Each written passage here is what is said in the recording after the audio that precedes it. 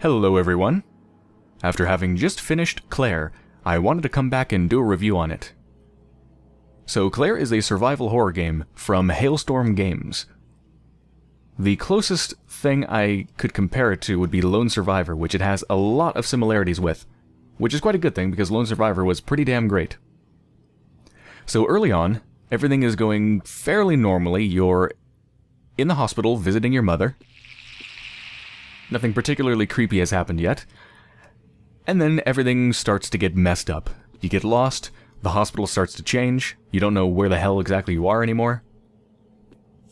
And your environment becomes very twisted indeed, as you can probably see around me. Scribblings on the wall, everything's dirty and grimy and sludge and blood and... Ugh, it just gets really nasty. So at that point, and your main mission throughout throughout the game is basically just to find out what the hell is going on and how you can escape. I mean, really, just what is going on? You know, why are you here? What's happened? And one of the things I like most about this game is the atmosphere. The sense of atmosphere is really good. For one, just looking at the art, uh, the art's really good. It's really some excellent pixel art. And there's even some really, uh, there's really some great looking effects that are mixed in with the the basic 2D art. It's kind of a mix of, of basic 2D art with more advanced effects. So for example, look at these candles, there's, well, there's particle emitters. There's particles coming from them. And check out these lighting effects. If you take out your flashlight, you can actually move this around with your mouse. So you can aim your flashlight and it's got dynamic lighting for that. It's very cool looking. The lighting's great. The art is really good. It's got some excellent animations as well. Like, where you aim your flashlight will have a, a different animation. You can see she's aiming it in all sorts of different areas, looking and moving the flashlight to the appropriate spot. It's really impressive. Very cool. It's a very dark game, literally speaking and figuratively. So you have this lighter here that has unlimited fuel and just provides a small light source around you. Then you also have this flashlight, which is obviously better, but you do have batteries, which run down very, very quickly. So the vast majority of the time, you're going to be using your lighter. So it's pretty challenging to see stuff comfortably. I mean, it's easy enough to see where you're where you're going and kind of what you're looking at, but being able to see what you're looking at and being comfortable with your environment are two different things. There's a lot of shadows and a lot of things that'll make your skin crawl. And you're going to want to take out your flashlight probably quite a bit because it's damn creepy. So yeah, excellent pixel art, some really good animations. The lighting is really cool. There's some nice advanced effects with the lighting and particle emitters and stuff like that. And the sound design is also quite good. I would like to find an example. Okay, here's a good example. There's some creepy sounds coming from over here, and it it's hurt my sanity quite a bit. Actually, I'm horrified, which is the worst sanity you can have. And it's making everything weird. Yeah, there you go. Sound of children laughing. It's wonderful. And all sorts of other joyous things. And I believe it's in here. Yeah, here we go. And this is the complete antithesis of that, I suppose. It's a place of calm instead of a place of horror. You hear the uh, happy theme song from that bear-themed show on TV. Whatever the hell it's called. And uh, something really cool about the sound design is how uh, it's positional. So the theme song is, it actually pans left and right depending on how close you are from the sound source. Dependent on not your camera, but your character. So right now you can hear that the theme song is coming from the right, and then as you move closer, it ends up coming from the center.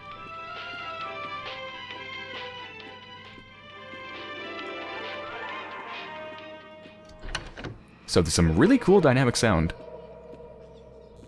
It's quite nice. Oh god, my yeah, my sanity is starting to go again. I think I should... Oh, I'm horrified. Oh, I'm scared. Okay, went from horrified to scared. Let's go somewhere. Uh, where should I go? Let's go to the... Actually, I can't go to the right. Uh, let's go to the left. Let's take my flashlight out so I stop freaking out. By the way, my flashlight just got brighter there because I changed the batteries. So as the batteries go down, you the uh, brightness of your light actually goes down as well, and then as soon as you put a fresh fresh batch in them, it becomes very bright. Pretty cool little detail. There's quite a few other cool details too, like if you leave your character idle for a while, uh, she'll actually, and your dog as well, will do this thing that she's about to do in a second, right about now. There we go. She'll go down, pull her hoodie over, and kind of just take a nap and rest for a minute. Along with your dog, Anubis. Pretty cool little detail. Now, let's talk about navigation in this game. It's a very important thing. So you're going to be bringing up your map a lot. This, uh, what? Actually, I probably shouldn't be in this room. I'm going to start freaking out again. Yeah. Let's stay in this one. So you're going to be pulling this open a lot. That is my location right there, a little white dot. And this is everywhere you can go. All the green rooms are rooms that I've already been to. The red marks indicate that, uh, like it says here on the legend, indicates a blocked door, and so on and so on. You know, that indicates a person, that's a save point, blocked doors, stuff like that. And honestly, um, navigation in this game is extremely, extremely difficult and annoying and frustrating. It really was for me. And a lot of that is down to the fact that you can only navigate the world in 2D. However, you're navigating a 3D world in two dimensions. It's weird. I'm pretty sure Lone Survivor had a similar problem. So here's what I mean. Look at this little uh, this little section I'm in. It goes from top to bottom. However, if as soon as I take away the map, of course, since I'm operating in two dimensions, I can only go left or right. So even though the map is showing me going up and down, my actual movement in the world is left to right. So then it, it becomes very confusing. It's like, where the hell is up and which what's down? I think left is... You, you end up having to move and then check your map. Like, okay, I'm at the bottom, go to the left. Okay, now I'm at the top of the room. So left is up. And then you go into here, for example. And now, okay, now left actually means left. There we go. And now right, now right means going up, whereas before left meant going up. It becomes quite difficult to navigate, and as you can see here, there's a lot of rooms, a lot of doors. And this is not even as bad as it gets, actually. There's another section of this hospital that has an obscene amount of doors and rooms. It is ridiculous how many freaking rooms are in there. So navigating becomes quite difficult, and you're gonna have you're gonna have your nose in your map all the time. It becomes very frustrating, and frankly, it becomes a chore. It became really annoying to navigate around. Especially because you do encounter enemies throughout the world. As you traverse the world, you will find enemies, and they will attack you, and they will do damage. You know, I have health here. Right now my health is fair. And you can take various items to heal your health, such as this green tea. There's other things like caffeine pills, and candy and whatnot, and energy drinks. Or, actually, soda. Yeah, they're soda, not energy drinks. So you are going to take damage, so you're navigating through a world that's very unintuitive to navigate because, again, you're moving in two dimensions, but you're actually moving through a 3D world, and it has a lot of doors, and you're going to be running from enemies sometimes while doing so, oftentimes, especially later in the game. And, by the way, have I mentioned that when you open up the map, it doesn't pause the game? So you're not going to be opening your map while you're running away. You're going to run away, get completely lost, and then open your map and go, where the hell am I? And it also doesn't help that the markings on the map are quite frequently not in the right area. If you notice, the uh, red thing here that indicates a blocked door is not actually on the door. That one's not on the door. These, I don't, I don't even know what's going on here. There's like two blocked doors here, even though there's only one door. It's really weird. There's quite a few map errors where what it shows you isn't exactly accurate. And in some areas, it can be hard to tell where you can move to another region. Like these black arrows indicate you can move to a different map if you go through there. In fact, can I go through it right now? Oh god, that's a monster.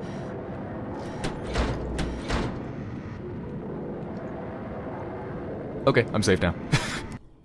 uh, yeah, if I go to the end of that hallway, I can probably go to a new spot. You know what? What the hell? Let me show you the monsters while I'm doing that. Let's sprint past it. Alright, here we go.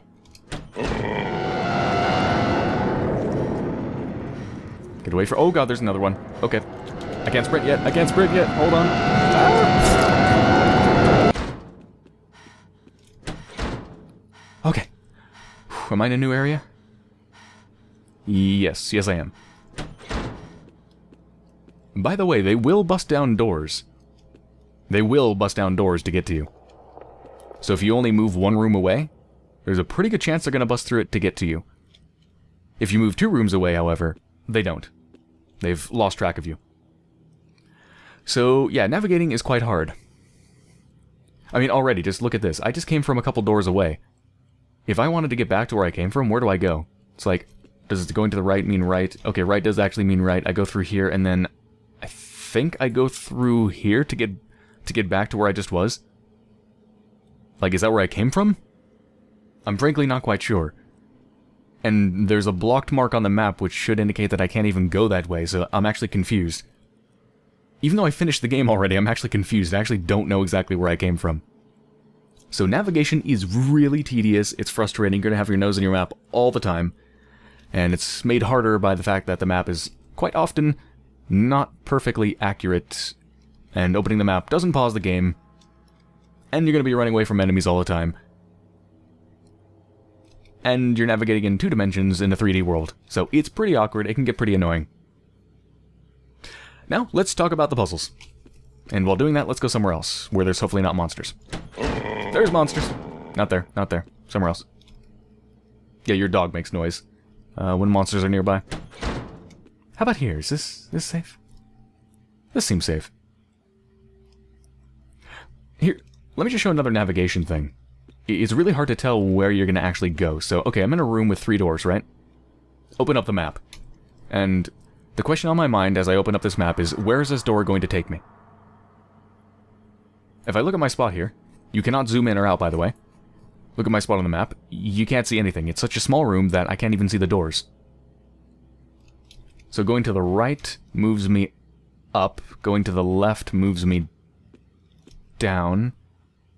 Okay, there's a door here to the right, so if I go down or backwards, or for forwards towards the screen, however you want to consider it, that will take me to the right on the map, I think. Okay, it did. So, yeah, navigating is awkward. Oh, there's the positional 3D sound, by the way. Now it's on the left. Now it's on the right. Quite cool. So let's talk about the puzzles. This game does have some puzzles. There's not too many. There's maybe like, uh, I'd estimate around like six to eight puzzles, maybe. Pretty, pretty infrequent. Some of them are optional, and if you solve them, they just give you it just gives you items that you can use and and stuff like that, and collectibles and whatnot. When I say collectibles, by the way, what I mean are butterflies, because for some reason you can collect butterflies. I, it's kind of weird. I'll just leave it at that. You can collect butterflies. so if you solve these optional puzzles, you can collect butterflies. Um, however, some of them, of course, you actually need to do. Some of them give you items that you need to progress. So a few of them are optional, but quite a few of them are not. And let's keep moving here. New locale. Where the hell am I now? I don't, I don't even know. Jesus Christ. They just broke down the door.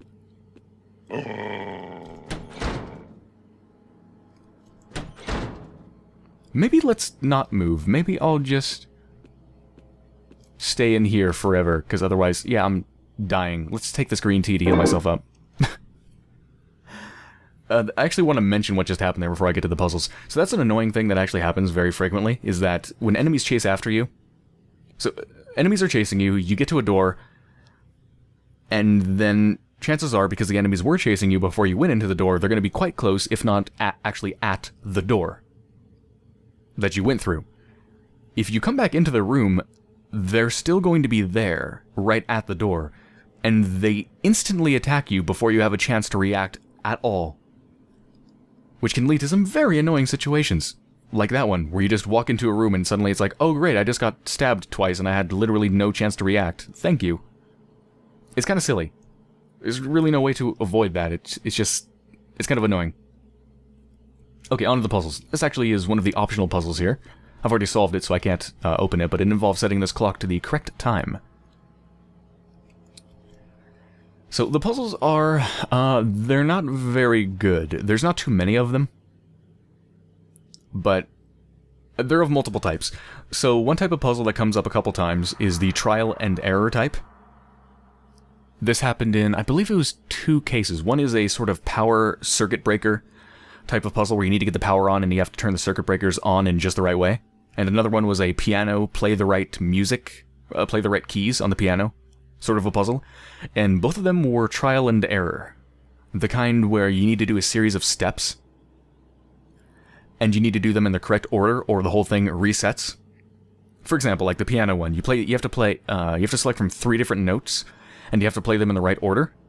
And if you ever play a note that is incorrect, the piano just makes like like a you messed up the song sort of sound.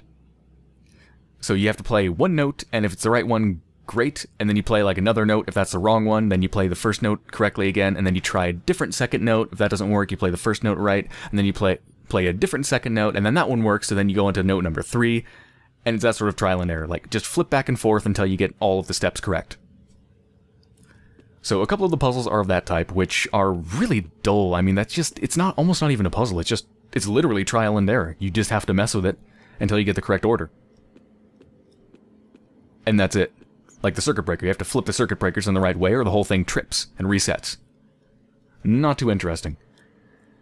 And there's a couple others that are more of the riddle type of puzzle. Need to figure out which way to flip some photos, or um, there's some other stuff, I don't want to spoil it. And those, well, they range from just not really making a whole hell of a lot of sense to actually kind of making sense. Only one of them, actually. I think I think only one of them actually kind of made sense.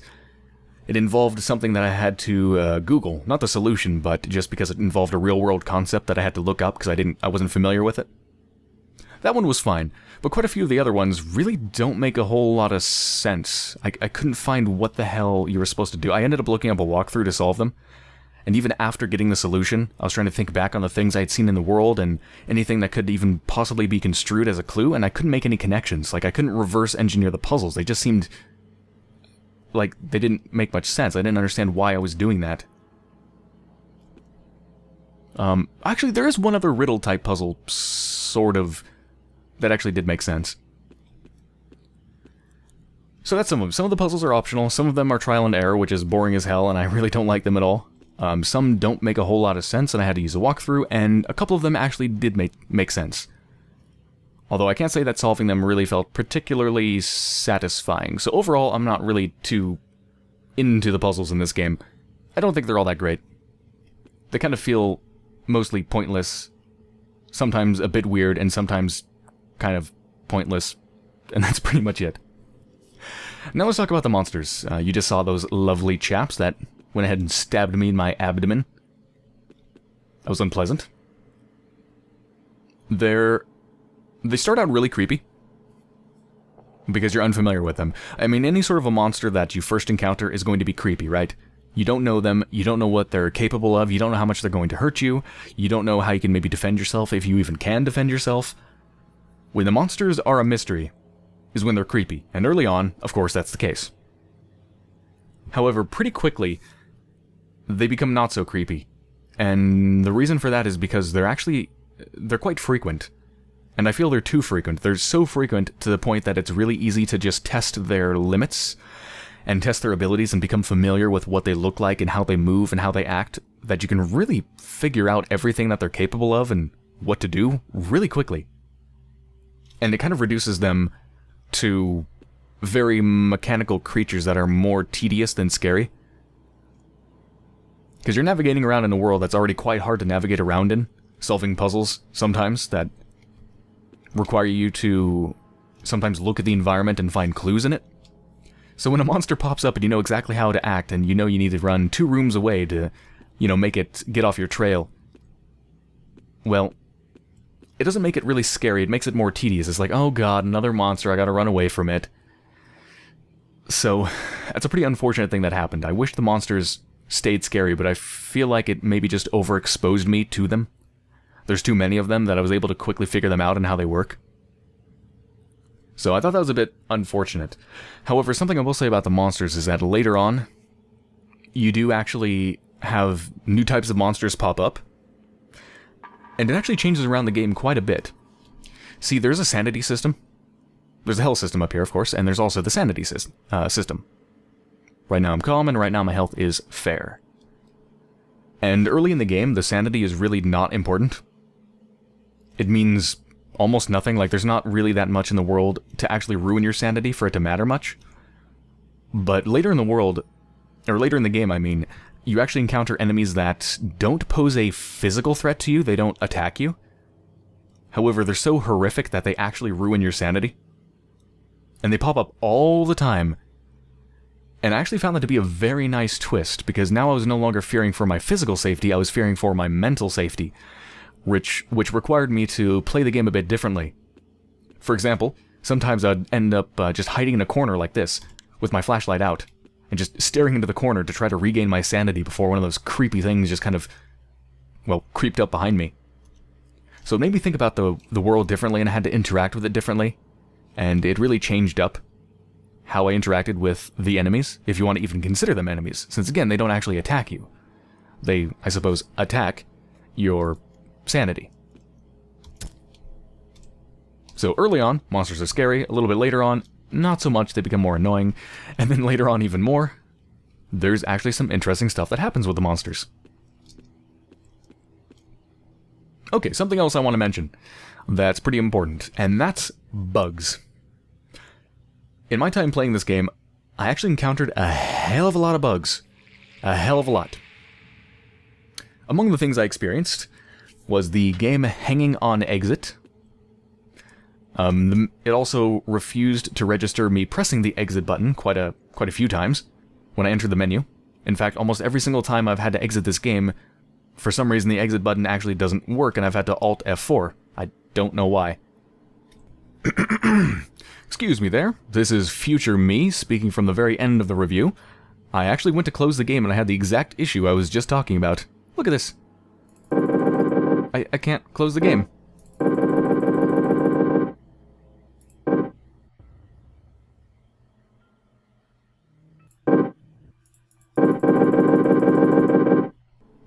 I also had the menu just constantly, every time I pressed escape, it would pop up for just like one frame and then disappear. So I just kept trying to open the menu, but it wouldn't. It just kept popping up and disappearing, so I couldn't do anything with it. That was strange. Um, I had another case where my character actually couldn't move. After I'd been interacting in the menu for a bit, I came out of the menu and then I couldn't move my character until I finally opened the map and then closed it, and then I and then I could move. Um, I also had doors spontaneously just re-blocking themselves after I had already been through them, which was weird. Uh, I went through them, they worked fine, I loaded, uh, saved my game, loaded the save, and then when I tried to go back through them, they were re-blocked. And I'm pretty damn sure that's a bug and that they weren't supposed to just spontaneously re-block themselves.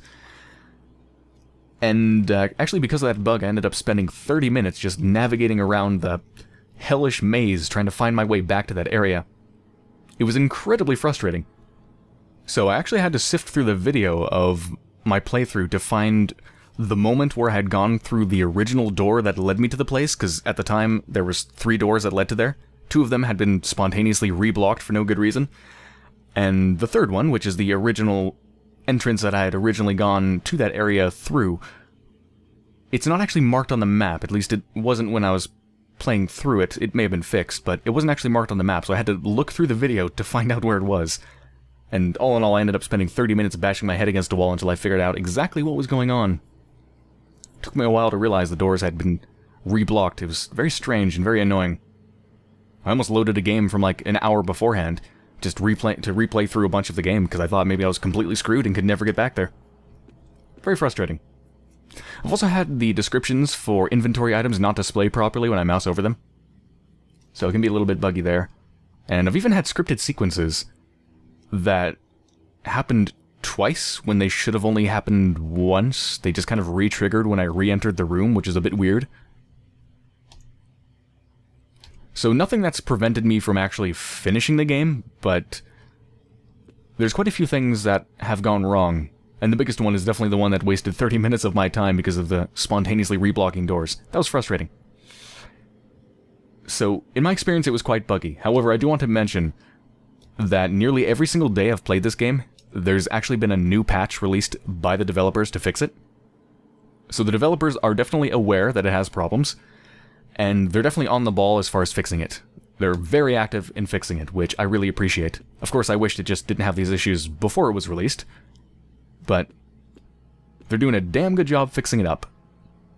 So for the for the bugs, I would say just, you know, beware, maybe check the Steam forums if you can without spoilers and just see maybe what people are saying about bugs and, you know, in like a week or two, maybe see how it's doing as far as the bugs go. In my current experience with the bugs, I would say wait a little while till some more things are fixed. But given the rate of patches, I'm thinking it's probably not going to be long until this game is in a pretty good state. Okay. Another thing I want to mention before I wrap up is this is a very serious game that deals with a lot of very serious subjects. And there's something there's some strange things that happen throughout the game that kind of hurt my I suppose you could say my immersion in the world. Because it's a very creepy and dark game, but some of the things that uh, you can do are, a, they feel kind of silly and kind of gamey. Uh, part of that is the puzzles that I previously mentioned. Like the trial and error puzzles feel weird and kind of pointless. Also the fact that you can collect butterflies even though the butterflies do have a significance in the game, it's still you don't know the significance for most of the game. So it just feels like you're collecting a collectible. And well, actually you are. I mean, the butterflies are actually just collectibles. So it's a bit weird that you're playing a serious game, but there's collectibles. It, it doesn't feel right. It doesn't match the tone of the game, you know? I think what really exemplified this problem was at the very end. No spoilers, don't worry. But at the very end of the game, it actually presents you with a scorecard. And I mean, literally, it's actually called a scorecard, and it tallies up your score in all sorts of different categories. Like how many butterflies you found, and, you know, how much damage you took, and stuff like that. So you're actually presented with a scorecard at the end of the game. I'm like, this is a serious game, dealing with all sorts of serious issues, and it's dark, and yet you're literally scoring my playthrough at the end? Like, it felt weird. I wasn't comfortable with the tone of that. Like, it, just didn't feel right. It's a little bit strange. But, despite the weirdness with that, really, ultimately, this game, it's... It's about depression and loss and dealing with whatever fucked up hand the world deals you. Which I think most people can empathize with. I really like the areas this game went to and what it explored in the story. Like I said, it's it's a very dark game, literally speaking, because it's kind of hard to see, but also more figuratively. I like where the story goes. It's a dark tale, but it's one that I definitely felt invested in. So I'm pretty happy with the story. So yeah, overall, it's it's a moderately flawed game. The most annoying things would definitely be navigating around and the puzzles. Some other minor stuff. There's quite a few mostly minor bugs and some weird tonal stuff and the monsters are a little bit overexposed, don't feel as scary as they should be in some areas. But overall, it's a damn good game. It looks good. It's really atmospheric. It sounds good. I like the story. And yeah, it's a pretty damn good game. So if you're looking for a dark, creepy horror game in the vein of Lone Survivor, then I think you'll be quite happy with Claire. So, Claire is available on Steam. I will have a link in the description to that, and thank you for watching.